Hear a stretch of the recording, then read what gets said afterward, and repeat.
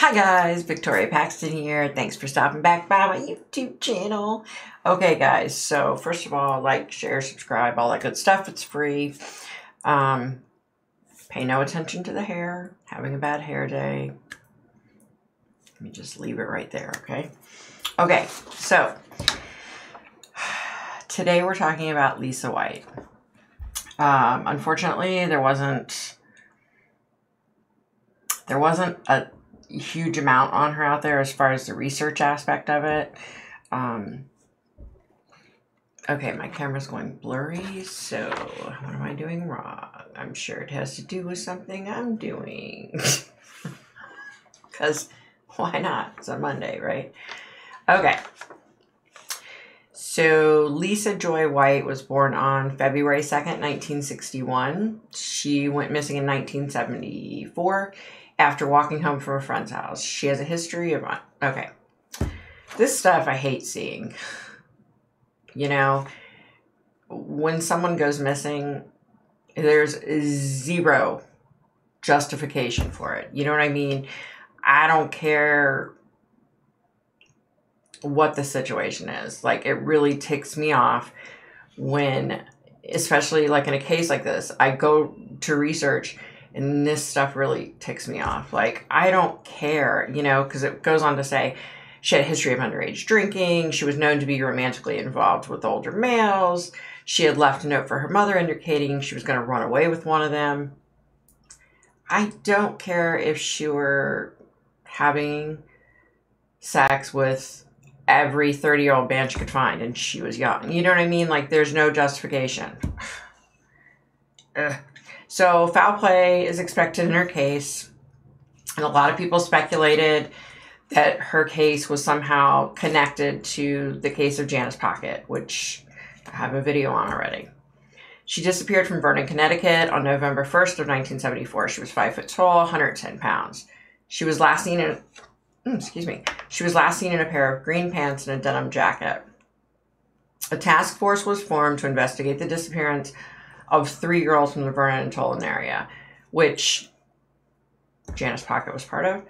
Um, more than 40 years uh, more than 40 years ago, they developed a list of suspects, conducted searches um, in three locations, and they planned a bunch of searches.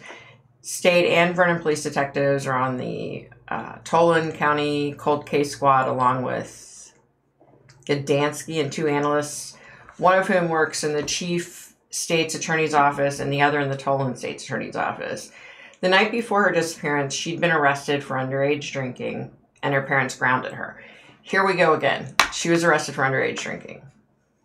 Whoopie two shoes. She doesn't deserve to disappear and die. Um, it, it just bugs me when they put that stuff.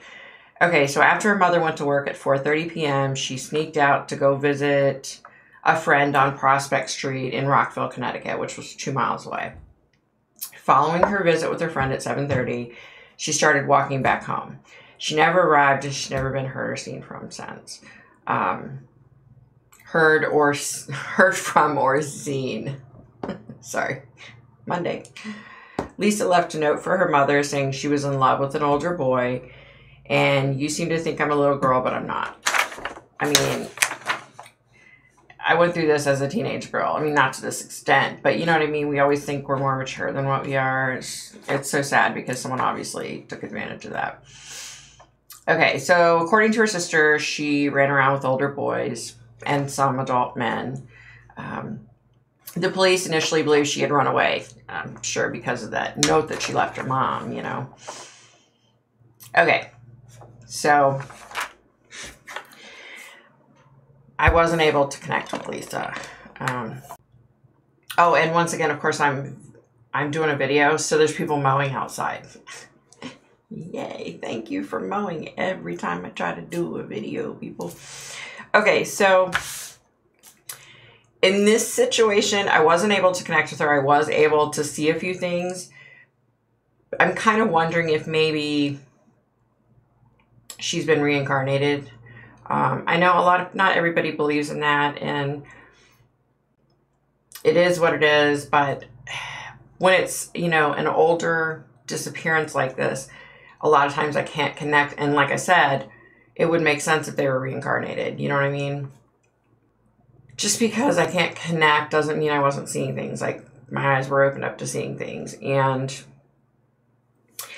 um, let me get this just right. So I kept seeing this man, and I was seeing this man before I even started working on this. Before I even tried to connect with her, I was seeing this man. Okay, he had like shoulder length straight hair.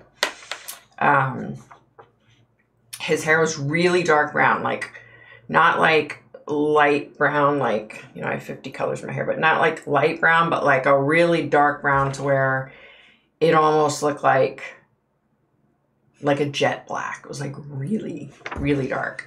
Um, and I know a lot of people say, oh, he had dark brown hair. And it's like, you know, medium brown like mine. But I'm talking like really dark, dark, dark brown to where it basically you look at it, it looks like it's jet black, you know? Um, here's the other thing he had a really thick, dark brown mustache. But now his mustache wasn't near as dark as his hair, okay? Um, and it was like a thick mustache. And nowadays the kids joke and say, oh, that's a porn stash. But you know what I mean? But back then, like, it was totally in style back then. So I do see that. I kept feeling like uh, Lisa knew him. I feel like she knew him. Like she was comfortable around him. So she had obviously been around him before. Um, I don't know. Obviously, I only know what I get. I don't know uh, to what extent she was comfortable with him. You know what I mean? He's like five foot tall, skinny. So, you know, five foot tall, 150, maybe five foot tall, 160 pounds, something like that. Like he was on the slend- more slender than heavier side. Um, here was the other thing. I hate when people say he was between, like in the Delphi murders, he was between 20 and 50. You know what I mean? Like, but here I go. I'm going to say it. This guy could have been 18. He could have been 25. I mean, he was really young. Um, some 18 year old guys can grow really nice mustaches. So, you know what I mean? Like, I would tend to lean more towards pushing more towards 25 bracket than I would the 18. But he was really young looking. I mean, um, when I was seeing this guy, I was seeing him just totally enraged, just seething with rage and anger. Um, and I feel like that was on Lisa. I feel like I feel like he was angry with her. And after I'm getting that, I'm getting like um okay. So in this particular case, I don't know about the other people that she dated or whatever, but in this particular case, I feel like I feel like she had lied about her age and I feel like he figured it out or she told him or something and that this was the rage I'm seeing it was his reaction to it. Um, you know, he may have realized, oh crap, I could go to jail for this, you know. Um, and unfortunately, I felt like I was seeing like that rage was coming out on her. So by seeing all the things that I saw, I think he killed her. I think he became enraged. I think he was just out of control, and I think he killed her. Um, and the uh, the unfortunate thing is,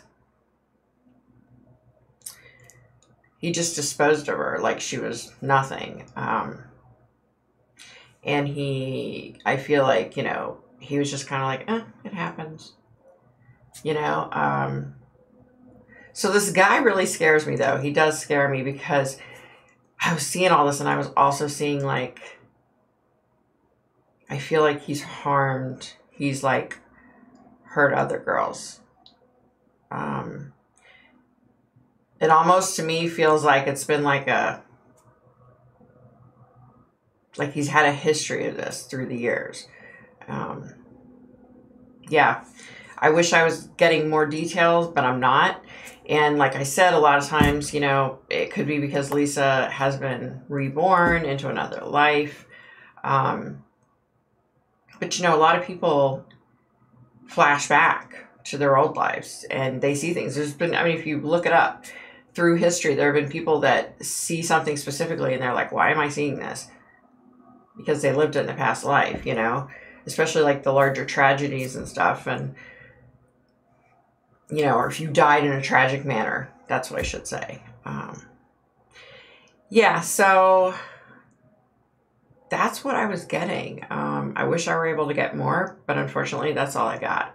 So be nice, be kind, stay safe, stay healthy. This stuff is for real. The president of our country has COVID, and so does his wife. And, you know, hopefully